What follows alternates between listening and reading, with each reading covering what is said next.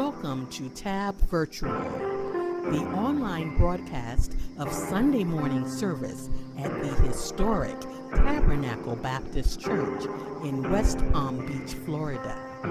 Our pastor is the Reverend Gerald D. Kisner, and our assistant pastor is the Reverend Kevin L. Jones. We are glad you chose to worship with us today, and we invite you to subscribe to our YouTube channel. If you are in search of a church home, Pastor Kisner and the members of Tabernacle would love to have you become part of our Tabernacle family. The historic Tabernacle Baptist Church for over 127 years, we are God's church on the hill, serving Christ. Join us now as we offer our highest praise and worship to God.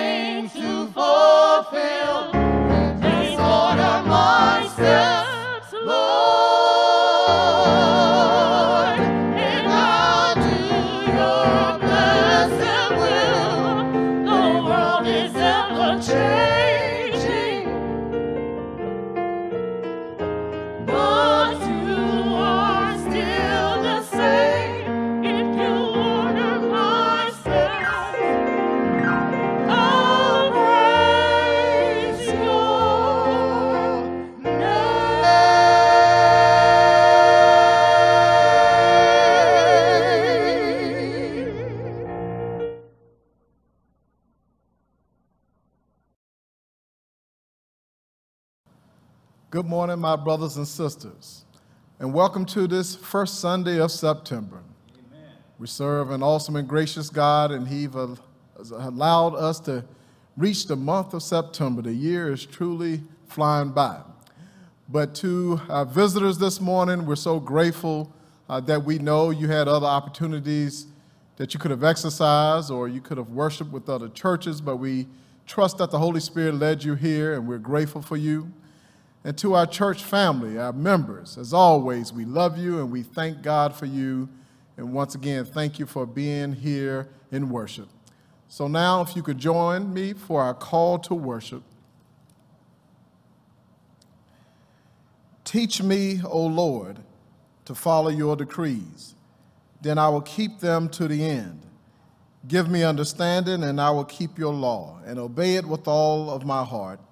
Direct me in the path of your commands, for there I find delight. Turn my heart towards your statutes and not towards selfish gain. Turn my eyes away from worthless things. Preserve my life according to your word. Fulfill your promise to your servant, so that you may be feared. Take away the disgrace I dread, for your laws are good. How, long, how I long for your precepts. Preserve my life in your righteousness. Amen. Amen.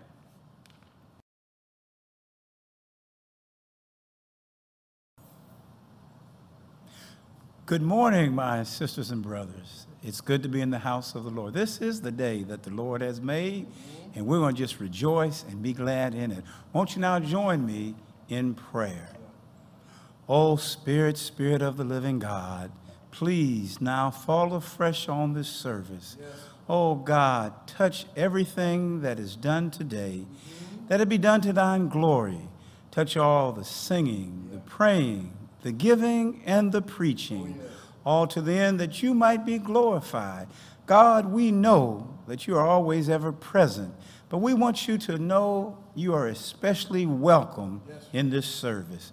Oh Lord, touch the stranger that may be watching this broadcast. Touch that person that may have a burden on their hearts. And Lord, that person that may not know you, that they might hear something today that would move them to come to you by asking, What must I do to be saved? Oh God, we exalt you, we adore you, and we love you. And we lift up this prayer in Jesus' name. And for his sake, let all the people of God say, Amen. No weapon formed against me shall prosper. It won't work. No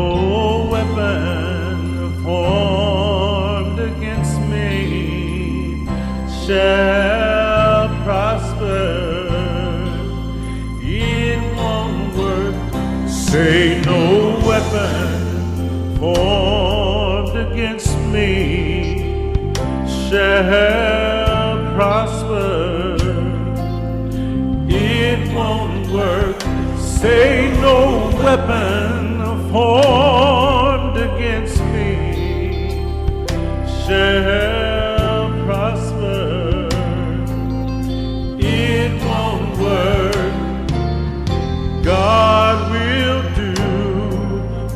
said He would do. He's gonna stand on His word and He will come through. God will do what He said He would do. He's gonna stand on His word and He will come through. No weapon formed against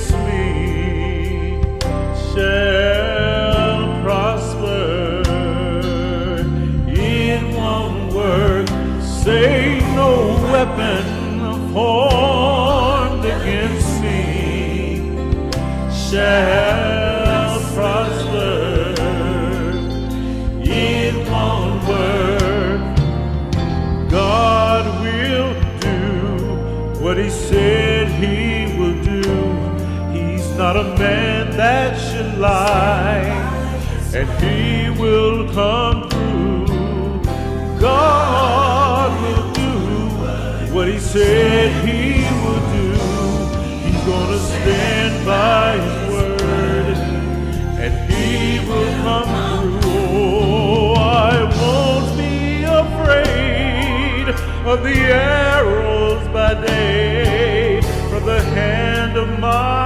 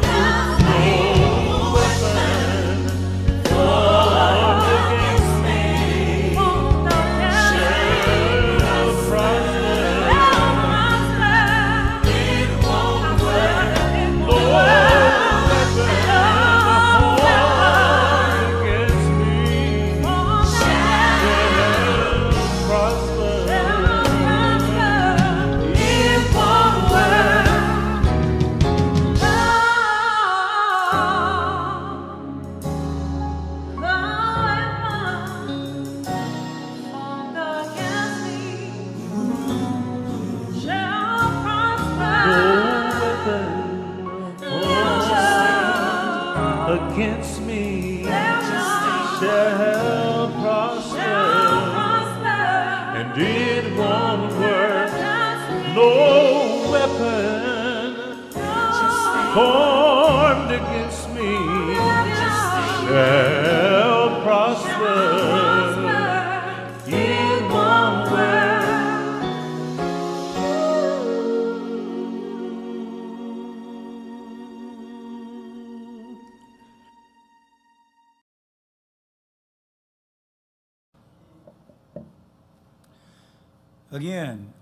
my sisters and brothers, it's just really good to be in God's house, uh, particularly during these perilous times, and for the Lord to have allowed us to see a, a brand new month, another first Sunday.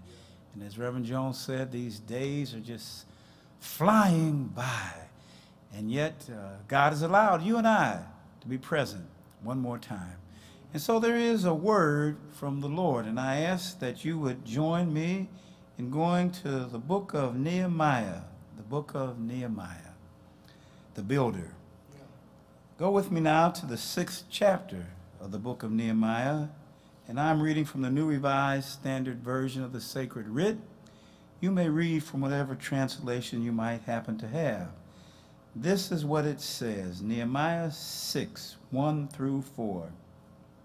Now, when it was reported to Sanballat and Tobiah and to Geshem the Arab and to the rest of our enemies that I had built the wall, and there was no gap left in it, though up to that time I had not set up the doors in the gates.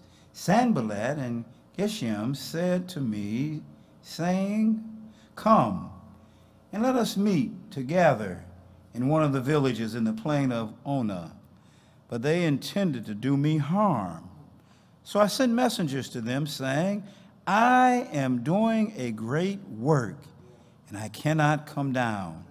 Why should the work stop while I leave it to come down to you? They sent to me four times in this way, and I answered them in the same manner. This is the word of the Lord, and I, I want to tag this. Can't stop, won't stop. Look at your neighbor on the right and say, I can't stop, won't stop. Look to your neighbor on the left and say, can't stop, won't stop. Won't you pray with me, my brothers and sisters? Oh God, here we are at the preaching moment. And now, God, we ask that your spirit would just illume all that is said. Touch this word that it might be about transformation in our lives. Lord, let it challenge us that somehow, through the power of your Holy Spirit, we might leave this place just a little different than we entered. And God, as always, will be so very, very careful to give you all of the praise and all of the glory, for you alone are worthy. Oh God, please hear our prayer today. Amen.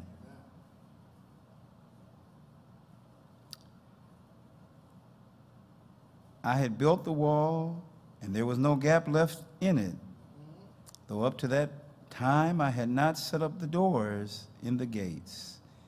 Sanballat and Geshem sent to me, saying, Come and let us meet together in one of the villages in the plain of Onan. But they intended to do me harm. This is the key part, my friends. So I sent messengers to them, saying, I am doing a great work, and I cannot come down. Can't stop. Won't stop.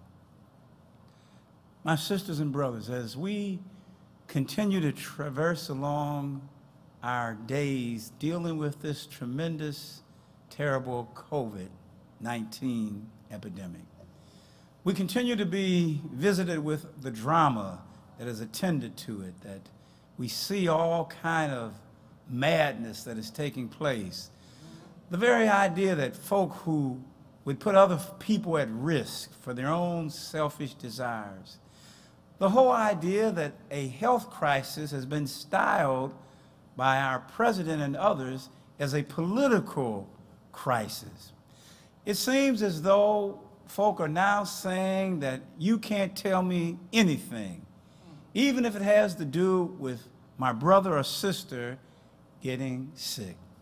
We see protests about masks that folk are saying we ain't wearing masks anymore. And, and it's amazing, Reverend, that we have so many other regulations in the health arena that we've never said anything about, or if we do, we've not really made a big deal. Seatbelts are required by everyone, and we do that, or we get a ticket. There are restaurants that if you don't have shoes on or a shirt, they're not going to feed you. And so we have a number of health regulations that are for the greater good of each and every one of us. But somehow, somehow this issue has now been stylized into one of politics and not health.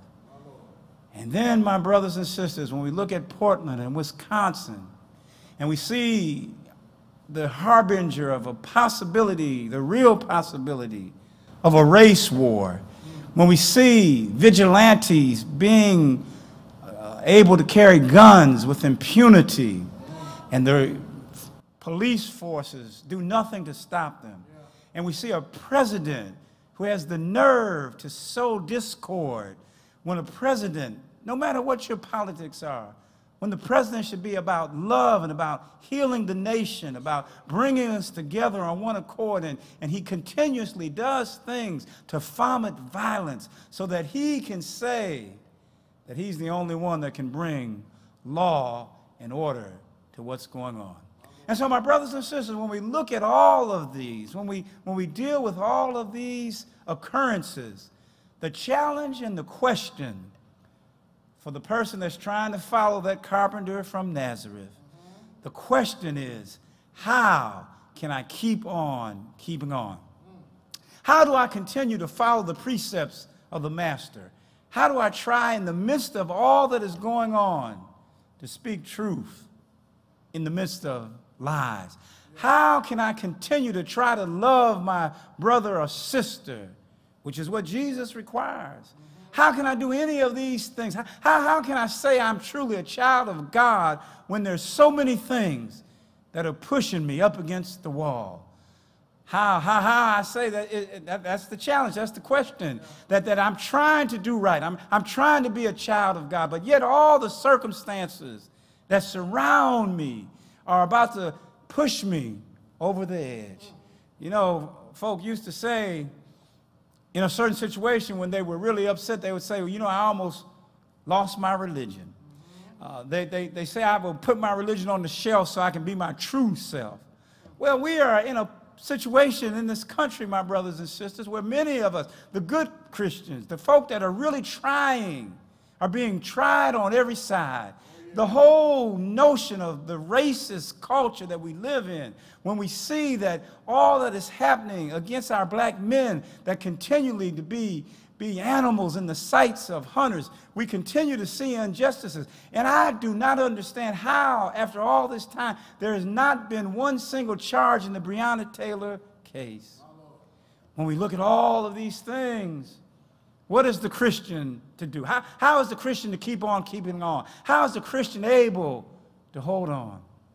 Well, my brothers and sisters, if we look at our text for today, I believe this old ancient text might provide us with a roadmap of how we can kind of navigate our way through this very trying and difficult times. Mm-hmm. In the text, we see that Nehemiah, that, that great builder, was involved in a major work.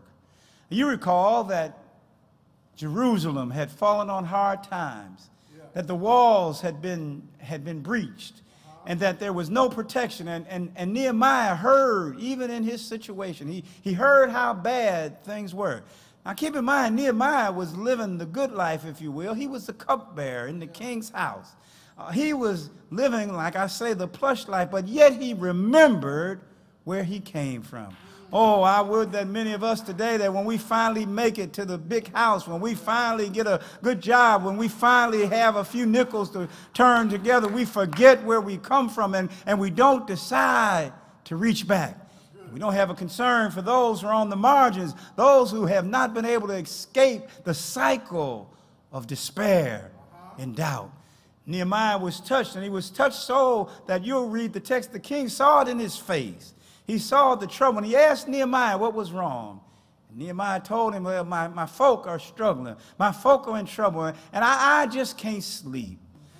Someone out there in this audience, we, we, we, we ought not sleep about the injustices that are taking place all around us. We ought to be disturbed to the point that, that we lift up our voices, that we protest, that we, we do everything we can to make sure that there is justice in the society.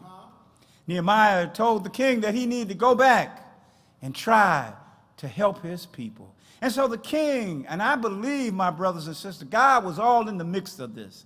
You'll recall that Nehemiah said before he went to the king that he, he prayed. And I believe, my brothers and sisters, before any of us try to do a great major work, we need to bathe that whole thing in prayer. Uh, we, we've lost the notion of how prayer is powerful. We seem to think that prayer is old fogey, but, but I'm here to tell you that prayer does change things. So Nehemiah, under the unction of God, under the Holy Spirit, I'm sure moved, and the king gave him all that he needs. So he journeys back to Jerusalem, and there he begins this great work. The text tells us that, that he was on the wall, he was working, and he was doing this mighty work to help his people. But one of the things the text tells us is that when you're trying to do a great work, even if it's for the Lord, it's not an easy road to hoe. There were distractions. The text says that Sanballat and Tobiah and others, they, they tried to distract him. They, they, they tried to dissuade him from doing what he was about to do. And one of the things that you and I need to understand that when we're trying to do something good, when we're trying to stand for righteousness, when we're trying to do the things that are pleasing in God's sight, you need to expect some distractions and some disturbances. They tried to get him to pull away from the work that was at hand. They, they tried to tell him that let's have a, a meeting. They, they did everything. They had distractions. They tried to tell, they fomented rumors and lies among the people to make folks slander him and defame him so that he might not keep at the work he was doing.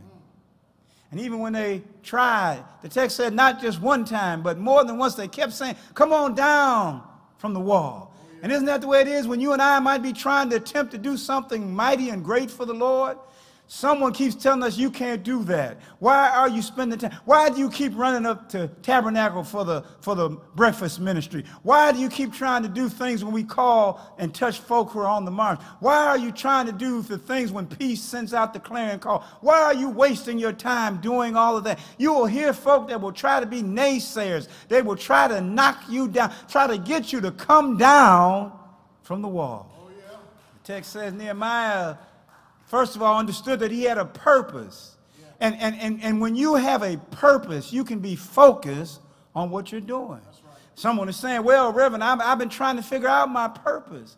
Well, you have to submit yourself to the Holy Spirit. You, you have to ask the Holy Spirit to direct you and to give you a purpose. Oh, I remember Jesse Jackson said it a while back. Folks said, How do you get up in the morning? How do you run around all over the country? How, how do you find the energy? And he said, Purpose gets me up. When, when, when you have a purpose filled life, you have the energy. You, you can take the licking and keep on ticking. When, when you have purpose in your life, you can be focused like a laser and you keep your eye on the prize of the high calling and do those things that are necessary for completion. And one of the things that, that all of us know, it's not how, how you start off your race. There are a lot of folk that start off real fast but they fade in the middle of the race. They, they start off on fire for the Lord, but, but they run into a few obstacles. They, they, they start off in a ministry that they're excited about, but then they find it gets hard when they're the only ones trying to do the work. It, it gets to be difficult when people are talking about you, and, and it seems that God does not hear you. But I want to tell someone today don't give up. You can't stop, won't stop. Believe that God will carry you through if you hold on to his unchanging hand. Nehemiah understood that he was focused, that, that he had a purpose, that he understood that he was doing a great work. When you and I understand that whatever we're doing, that people's lives are involved, that, that when we reach outside of ourselves and know that we're standing for someone on the margin, someone that does not have a voice, someone that needs you to open up your mouth, or as John Lewis used to say, someone that will create some good trouble. Oh, I wish I had some witnesses in the house that, that when you find purpose in your life, you're able to keep on keeping on. Nehemiah could stay on that wall despite all the slings of outrageous fortune that was aimed at him, he still stood on the wall. He still kept doing what he had to do. Well, let me help somebody that wants to try to be like Nehemiah. Here, here's a couple things. First of all, you must realize that if God has given you a purpose, it's a sacred call, it's a sacred charge and you can't let anybody turn you around. Whatever the Lord has put in your life for you to do, it's the thing that drives you, and you will have power from on high. The second thing that you have to do, my friends, is to understand that you can't do it by yourself. First of all, you need some, some colleagues that will, will work. Uh, the scriptures tell us where two or three are gathered, then he's right there. Well, you, you got to find some like minds that will help shoulder the burden on you. you. You need to help one another, encourage one another. When you have a team effort, teamwork makes the dream work. Yeah. So when you realize there are no lone rangers, we're all in this thing together. It's a glorious work when you can find a brother or sister that will have your back and you'll have their back. And together we can do a mighty work for the Lord. And, and, and so Nehemiah, he had support. He had some workers that were on the wall with him, but he knew that they were looking to him for leadership and they were looking for him to hold the course. Yeah. So the first thing I said is you gotta, gotta find out your purpose and, and your focus. And then secondly, you have to realize you can't do it by yourself. Uh-huh. And then thirdly, my brothers and sisters, you must rely, as Reverend Jones said last week, not on your own feeble understanding, but you need to rely wholly and completely on the wisdom and the strength of God. Oh, I know if you rely on God, God will be the wind under your wings. God will be the bread when you're hungry. God will be water when you're thirsty. God can wipe your drying tears away. God can pick you up when you're broken down. God can make a way out of no way. If you rely on God and trust and never doubt, the Lord surely, surely, surely will bring you out. I'm so glad that Nehemiah serves as a sterling example for all of us, even in the 20th century. Even as we look at the horrible things that are happening in Washington, even if we look at the things that are happening in the State House, even we look around all over the country, the injustices, if we realize that our help comes from the hills, and that's where we must look to, we must realize that we have to keep holding on. Can't stop, won't stop. Have to believe that somehow persistent prayer does pay off. Nehemiah shows us that there's value in holding on. That even when the folk try to tear you down, and I got to tell you, Reverend, that the folk will try to tear you down when you're trying to do something righteous. You got the street committee that'll talk about you. When you're trying to do something righteous, there are folks that'll say the obstacles are too large. When you're trying to do something righteous and visionary, there are folks that'll say there's powerful opposition and we can't beat Goliath. But we know that we serve a God that though he sits high, he reaches low. We serve a God that has said that no weapon formed against you will prosper. That my enemies came to eat of my flesh and they stumbled and fell. If you trust God, he'll take care of you. Oh, I know he will. I'm a living witness that if you're purposeful, you can't give up. Nehemiah knew that the work was so important. And I speak to someone right now.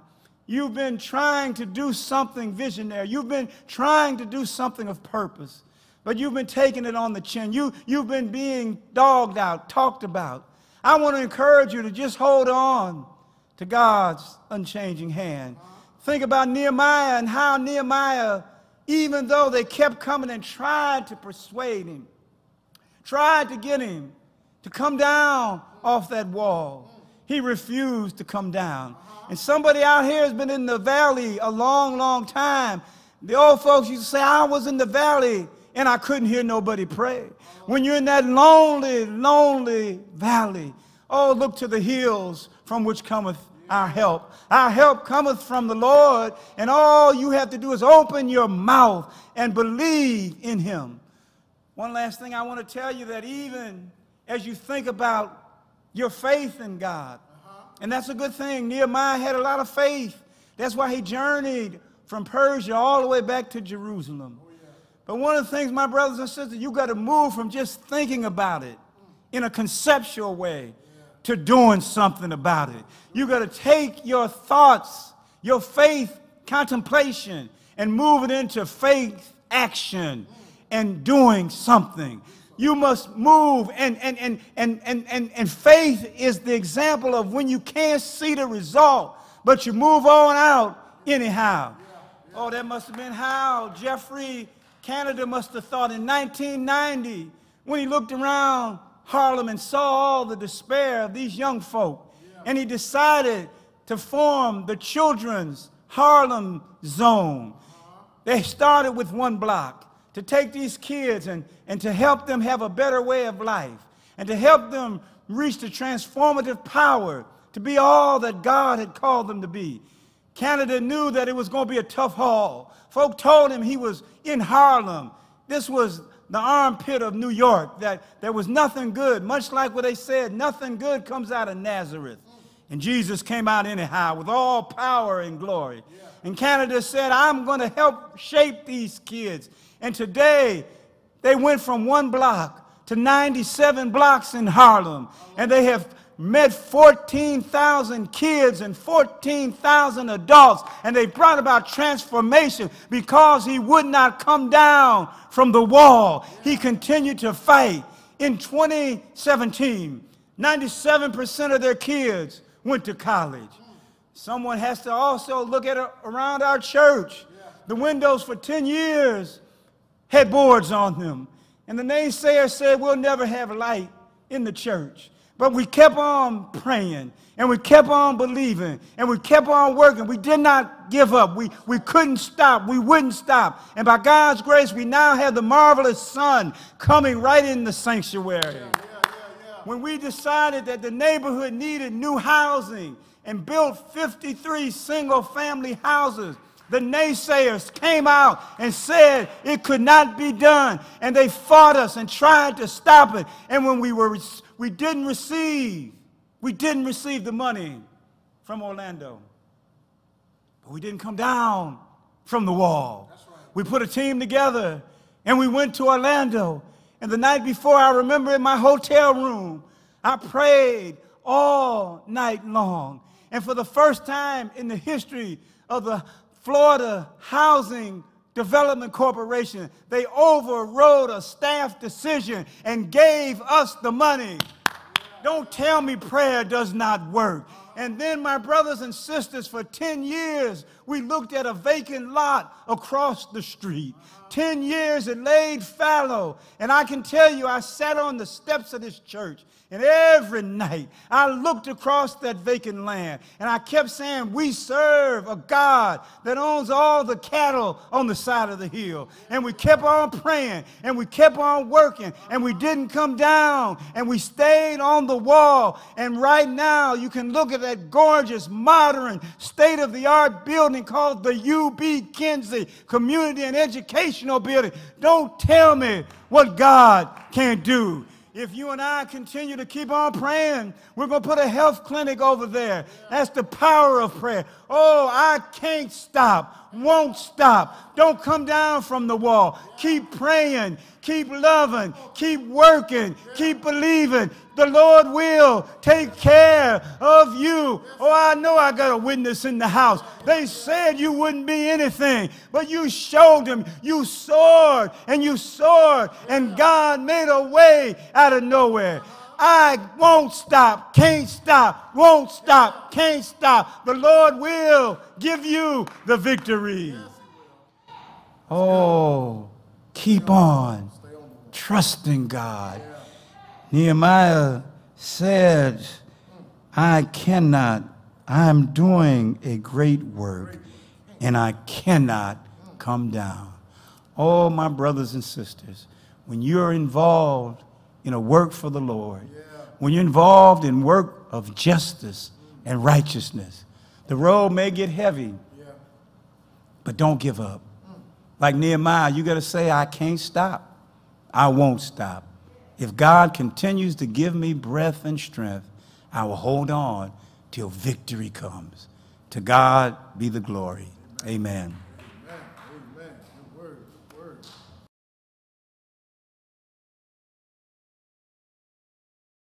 My, my, my. Can't stop. Won't stop.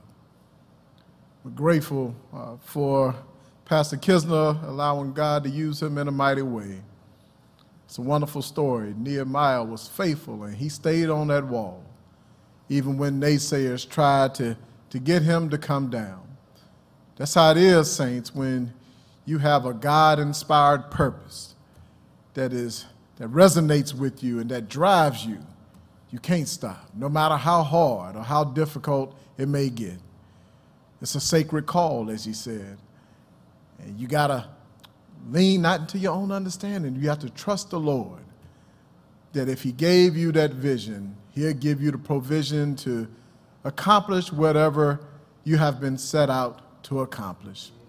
But I'm so grateful that there was one over 2,000 years ago that was stretched high and stretched wide on the cross. And the naysayers once again try to tell him if you, you are who you say you are, why don't you get off of that cross and, and save yourself? But he wouldn't. He stayed there for you and for me. And now you have an opportunity to enter into a relationship with him, my brother or my sister. Doors of the church are open. If you do not know Jesus, if you are not in a relationship with Jesus Christ, why don't you say yes today? His yoke is easy, his burden is light. You don't have to run this race all by yourself. He has the ability not to only give you life, but give you abundant life. But why don't you say yes to Jesus? But maybe you've already accepted Jesus, but you're not plugged into a local church. We would love to ha- have you here at Tabernacle. Our pastor would love to be your pastor. We would love to be your brothers and sisters in Christ. Why don't you come? If you don't know him, why don't you say yes today? If you are in relationship but not plugged in lo- to a local church, why don't you all give us a call at 561 832 8338? One of the clergy will reach out to you and talk to you about entering into a relationship with God through Christ Jesus. We'll have a conversation about salvation. Last call, my brother, my sister. The doors of the church are open. Amen.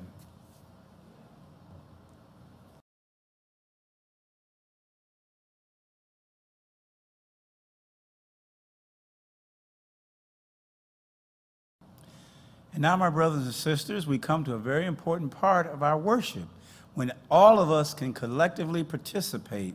That is the giving of our tithes and our offerings. Amen. Yeah, I like that. Joy, joy. The Lord loves a cheerful giver.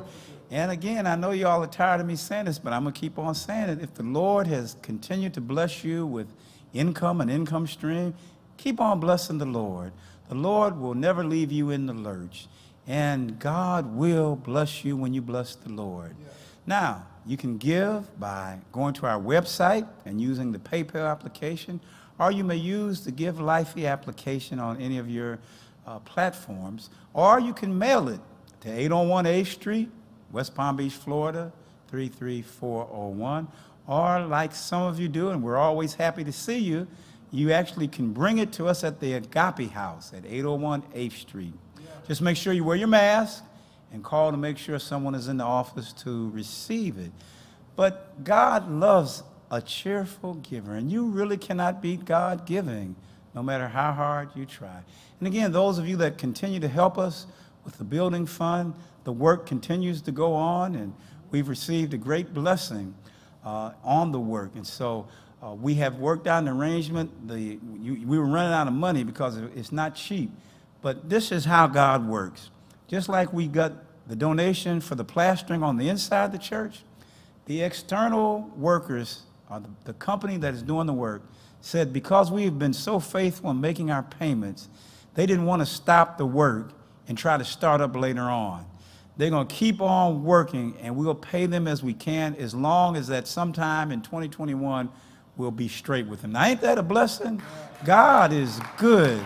And I'm telling you, I'm certain it's because of the faithfulness of all of you collectively. If we keep on working and praying, God makes a way. Even in your personal life, I'm talking about tabernacle now, but in your personal life, God can do the same thing. So won't you bless the Lord with your tithes and your offerings? Let us pray. O God of creation, we humbly come to you with our tithes and our offerings. We give back just a small portion of what you give to each and every one of us. You give us life, and it's abundant life that you give us. And so we want you to know we appreciate you, we love you. Now, God, take all of these monies, transform them, expand them, so that we might continue to do ministry here at Tabernacle and bless the least of these. And oh God, we ask a special blessing upon that man, woman, boy, or girl that had a fervent desire to give, but unfortunately did not have the means. Bless them real good so they might bring something to the storehouse. Oh God, we lift up this prayer in Jesus' name. Amen.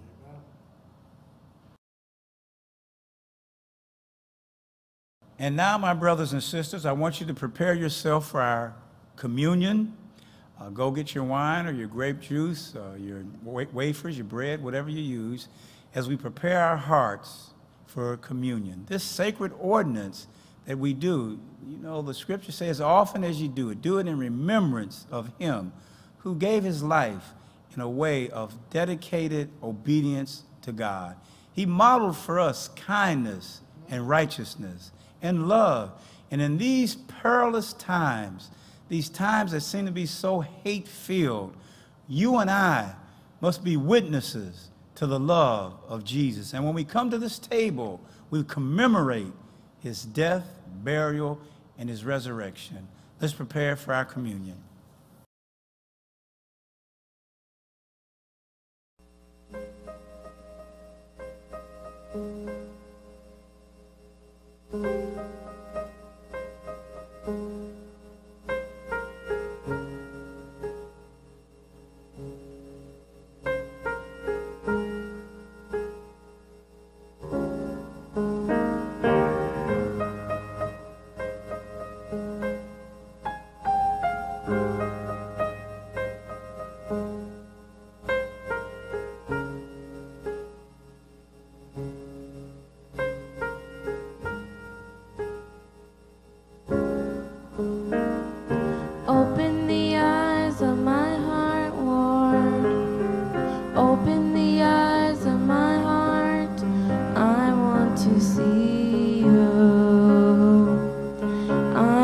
to see.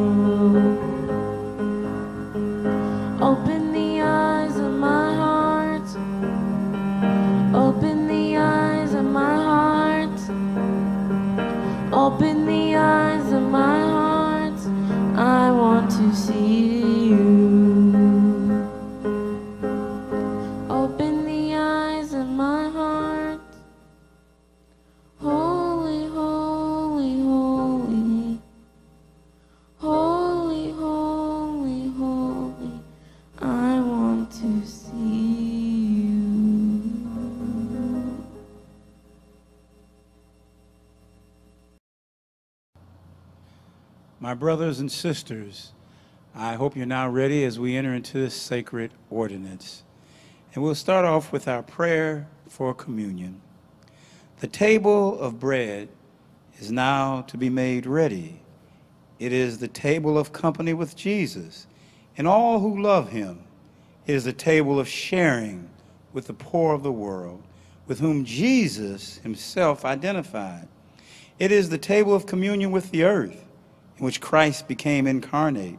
So come to this table, you who have much faith, and you who would like to have more, you who have been here often, and you who have not been for a long time, you who have tried to follow Jesus, and you who have failed, come.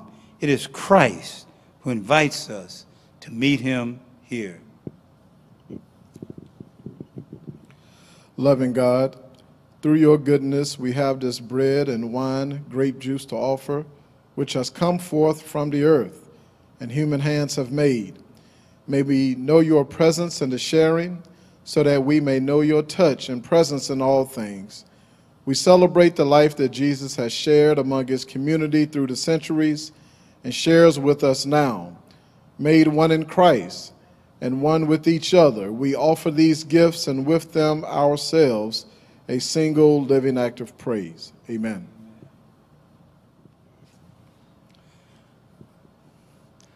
Let us pray. Oh God, again we come to this sacred moment. We come to this table, this ordinance which you have set aside, when we can reflect upon you and we can reflect upon the life that your son led as he walked here on earth doing good, loving the unlovable, touching the untouchable, showing love rather than hatred. Oh God, help us as we eat and drink of these elements that we would remember the sacrificial life that he lived, that we would learn to love one another as he has loved us. Oh God, guide us through this service. In Jesus' name, amen.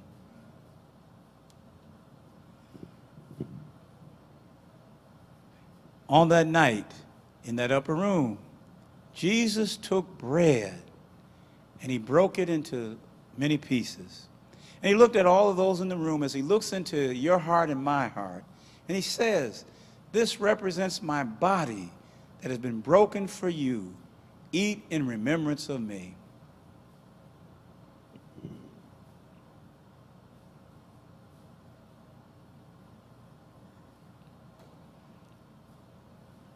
And in like manner, he took the cup which was filled with wine, and he looked to all of the disciples after he had lifted it to heaven and asked God's blessings upon it. He then said, Drink ye all of it. It represents my blood that was innocently shed for remission of sin. Drink ye all of it.